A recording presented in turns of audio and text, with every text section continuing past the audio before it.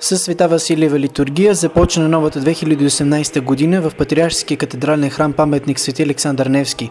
Богослужението бе отслужено по повод Господския празник Обрезание Господне и за празника на Свети Василий Велики. Литургията възглави Мелнишкият епископ Герасим, главен секретар на Светия Синод и предстоятел на църковното настоятелство при Патриаршската катедрала. С епископ Герасим се служиха архимандрит Василий и протосингел на Софийска света митрополия, ставрофорен иконом Мина Минчев, ставрофорен иконом Александър Георгиев, протоерей Николай Георгиев, началник отдел връзки с обществеността при Светия Синод, храмовото духовенство, столични свещеници, протодяконите Иван Петков и Александър Нешев, както и дяконите Деян Короновски и Костадин Тренев. Негово светейшество българският патриарх и Софийски митрополит Неофит взе молитвено участие в Светата литургия, а след нея възглави молебена за настъпващата нова година. Нека новата година да бъде на още много лични обществени успехи, да се измерим с едното с небесния наш Отец, да продължаваме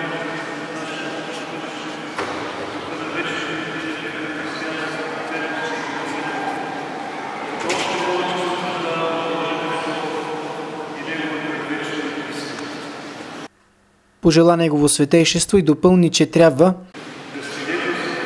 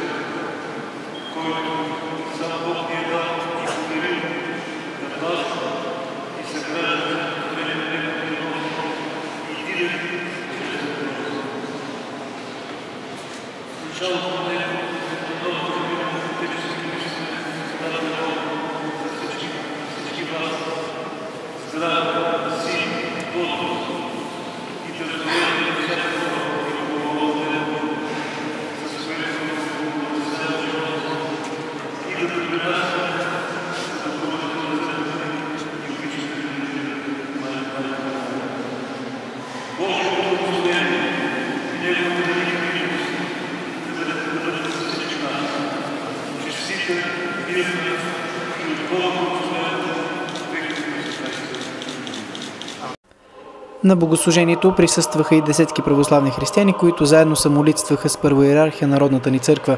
Молебенът бе излъчен и на живо в официалната страница на Светия Синод във Фейсбук.